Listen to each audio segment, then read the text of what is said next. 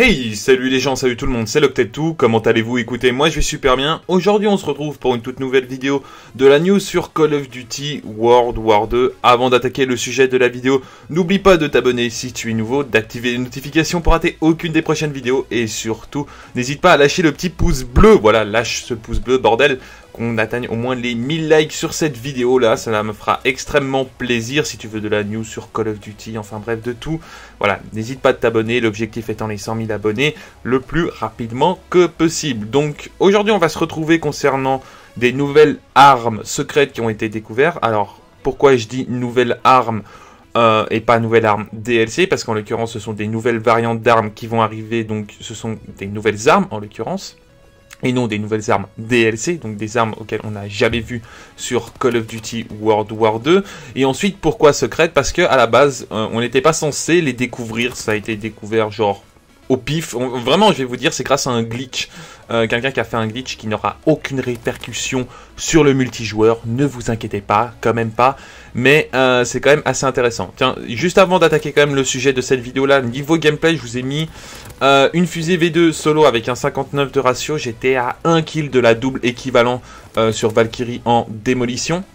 Je vais switcher entre une STG, euh, une STG 44 Baron Rouge, si je dis pas de bêtises, c'est une des armes DLC les plus rares qu'on puisse avoir, et euh, ma PPSH prospérité, si vous êtes nombreux à savoir quelle est ma classe, etc., etc., bah, je vous invite à regarder les anciennes vidéos. J'ai fait euh, les nouvelles meilleures classes sur Call of Duty World War 2, donc t'as qu'à juste aller regarder cette vidéo-là. Enfin bref, comment ça s'est passé, comment on a pu découvrir ces nouvelles armes-là. Enfin, c'est une youtubeuse américaine qui s'appelle Glitching Queen, si je dis pas de bêtises. Oui, ça doit être ça, Glitching Queen, qui a fait une vidéo tout simplement pour obtenir des nouvelles armes DLC gratuitement et les tester. Alors, en soi, euh, ces armes-là, Enfin, tu peux les débloquer tout simplement quand partie privée, ça veut dire que tu pourras jouer une ou deux games en partie privée avec tes potes, etc. pour tester ces nouvelles armes-là, mais tu ne pourras pas jouer en, euh, en, salon public, ça veut dire avec des gens auxquels tu ne connais pas, ça veut dire que si, si tu as envie éventuellement de jouer avec ces nouvelles armes-là, bah tout simplement, il faudra que tu fasses une partie de 6v6 en privé, faire le glitch en question pour tester ces nouvelles armes-là. Alors il y a eu beaucoup de nouvelles armes, beaucoup de 19-11, alors pourquoi je dis beaucoup de 19-11 en l'occurrence? Parce que la personne en question, justement, euh, la en question euh, a montré que justement cette partie-là de 19-11, mais a quand même leaké d'autres armes, en l'occurrence la FG42 et une M1 Garand avec des inspections d'armes bien différentes de ce qu'on a l'habitude de voir. Par exemple, si tu fais la FG42, elle switch à gauche, elle switch à droite et puis elle revient comme elle était avant. Là, en même temps d'avoir fait des inspections un peu différentes des autres, bah justement, on peut voir que les armes sont totalement différentes, avec un design totalement différent, et en plus de ça, une sorte de camouflage bien différent. Alors on dirait qu'au début que ça soit de la peinture, et beaucoup de gens disent « Oh mais tout simplement, ça c'est de la triche, etc. Elle a rien glitché du tout. » Et en soi, euh, je vous rappelle juste à l'heure actuelle que les peintures sont toujours indisponibles sur Call of Duty World War 2, donc en aucun cas elle triche, tout simplement qu'elle a bel et bien découvert par inadvertance des nouvelles armes sur Call of Duty World War 2. Alors, comme je vous ai dit, il y a une sorte de 19-11, de toute façon, je vous mettrai des images de 19-11 en mode américain, qui est plutôt assez stylé, assez beau, mais il y en a beaucoup d'autres, au cas où je vous balancerai également l'autre screen concernant toute une liste d'armes variantes de 19-11 une FG42 qui est quand même assez stylée en orange. C'est vrai que la couleur, je l'aime bien, ça rend vraiment bien stylé sur cette arme-là. Et ensuite, on a une M1 Garand de nouveau aux couleurs du drapeau américain. Alors c'est plutôt assez cool, en soi c'est plutôt assez bien de se rendre compte qu'il y a quand même beaucoup d'armes variantes sur Call of Duty World War 2, mais de nouveau ça va être comment on va devoir les obtenir. Oui, parce qu'en soi il y a toujours des nouvelles armes variantes qu'on puisse obtenir sur Call of Duty World War 2, mais je dois vous rappeler comment on les obtient. Et oui, c'est chaque fois dans des colis de ravitaillement et non des boulons ou des doublons, peu importe comment tu vas appeler ça. Moi, je les appelle doublon, boulon plutôt, parce que ça me fait énormément rappeler euh, Call of Duty Infinite Warfare. Enfin bref, c'est le même principe que Call of Duty Infinite Warfare là-dessus. Donc euh, je vois pas pourquoi je devrais appeler cela autrement. Enfin bref, peu importe. Comment on va obtenir ces nouvelles armes-là? Est-ce que ces armes-là seront obtenues grâce à ça ou tout simplement dans les colis de ravitaillement? Oui, parce que on sait bien que Call of Duty aime bien se faire de l'argent grâce aux colis de ravitaillement. Donc je pense quand même que ça va de nouveau être dans les colis. Donc, on va voir comment on va obtenir cela. Ça serait quand même assez intéressant. Je pense qu'à l'avenir, ce serait quand même cool qu'on puisse avoir des contrats, genre, tu vois, genre, comme on a des contrats par exemple pour euh, certaines armes DLC, par exemple la Sten, euh, enfin toutes les armes DLC qu'on a eu l'habitude d'avoir, si on pouvait avoir la même chose pour les variantes. Parce que moi je kifferais avoir la STG 44 Baron Rouge, je la trouve vraiment trop trop stylée.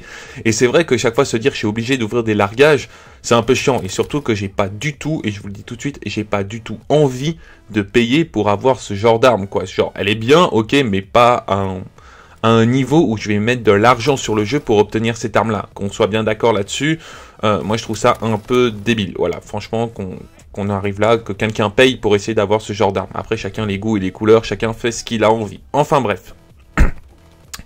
Mais euh, par rapport à ce glitch là, de nouveau comme j'ai dit, euh, de nouveau plein de 1911 et j'étais même très étonné de voir autant de 1911 euh, qui soient dans les codes fichiers du jeu comme vous avez pu voir avec la liste. C'est quand même assez impressionnant de se rendre compte que euh, Call of Duty World War 2 a déjà fait des limites, c'est des, des, centaines de, de, de, variantes lorsque par exemple avec la PPSH, je crois que la PPSH on en a 5 ou 6 c'est tout et en l'occurrence avec le 1911 je crois qu'on en a 2, 2 ou 3 si je dis pas de bêtises et qu'on a quand même genre une dizaine, une douzaine en attente. Donc c'est quand même assez impressionnant de se dire qu'il y a autant d'armes variantes sur Call of Duty World War 2 qu'on nous a pas encore révélé. Alors qu'il va venir petit à petit avec des mises à jour et tout, etc ou sinon avec des événements, hein, comme on a eu l'événement Résistance, comme on a eu l'événement avec euh, le siège d'hiver. Je pense qu'on aura également la même chose euh, avec Pâques, voilà, chacun, on a toujours des trucs assez stylés.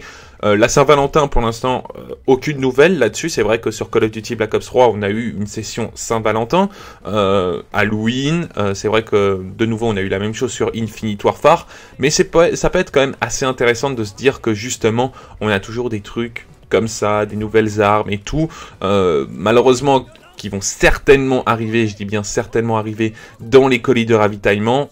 Ça, de nouveau, J'espère que ça arrivera pas, j'espère qu'également on pourra essayer de faire des contrats ou tout simplement utiliser des doublons euh, pour obtenir cela, parce qu'en soi, les dernières variantes, on n'a pas eu des, des comment s'appelle, on pouvait pas utiliser nos doublons pour les obtenir. Voilà, c'est exactement ça que je voulais dire.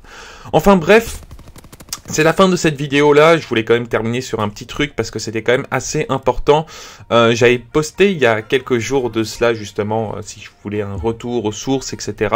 Genre une semaine dédiée qu'à ça, un jour ça sera Black Ops 1, un jour Modern Warfare 3 et un jour euh, Black Ops 2 jusqu'à qu'on arrive à Call of Duty World War 2. Donc on passerait effectivement par du Call of Duty Black Ops 3 et par du Infinite Warfare et par du Ghost, du Advanced Warfare, enfin bref, tous ces codes-là. Euh, je vais le faire, donc euh, je suis juste en train de travailler le planning parce qu'à la base je voulais le faire cette semaine-là. Puis euh, tout d'un coup, j'ai vu que dans mon planning, il y avait la Ligue des Champions. Ah frère, la Ligue des Champions, c'est sacré. C'est désolé de le dire, c'est sacré. Je, je, ne peux pas rater un match de Chelsea, même si c'est contre le Barça et ça risque d'être un match très compliqué. Peu importe j'ai envie de voir la Ligue des Champions. Donc je me suis dit, non, en même temps, les gens vont pas vraiment regarder si la Ligue des Champions, tu vois, genre il y a Paris, Real, etc. Euh, les gens vont pas regarder. Donc forcément, euh, je pense que je vais pas faire tout ça en une semaine. Je pense que je vais vous faire un planning en avance que je vous mettrai sur mon truc communauté, enfin sur la chaîne YouTube tout simplement en mode communauté, que vous puissiez tout simplement voir euh, le planning, comment ça va se passer, etc., etc. Il y aura pas mal de bonnes petites choses, je pense assez intéressantes autant pour vous que pour moi. C'est vrai que retourner sur Call of Duty Black Ops 1, ça peut être un grave, grave bon délire. Et euh, je pense que également, ça fera également du bien pour vous autant que pour moi. Il y en a beaucoup qui réclament du BO3, bah là vous allez avoir un live dédié à Call of Duty Black Ops 3. Certaines personnes qui réclament du BO2, bah là vous allez avoir un live dédié à Call of Duty Black Ops 2, à Modern Warfare 3, etc. Donc j'espère que vous allez être présents. Euh, j'expliquerai bien évidemment tout ça lors d'un planning. Et euh, également, euh, si euh, à ce moment-là, il y aura très peu de personnes de, mes proches, tout simplement, qui vont jouer à Call of Duty, Black Ops 1 ou Black Ops 2 ou Modern Warfare 3, tout simplement, bah à ce moment-là, j'inviterai quelques abonnés pour qu'ils viennent jouer, tout simplement, qu'on puisse bien s'amuser sur les anciens Call of Duty. Voilà les gens, c'est la fin de cette vidéo, j'espère qu'elle vous aura plu. Ah oui, petit dernier, petit dernier détail, désolé, avant de, de vous laisser à, tout simplement.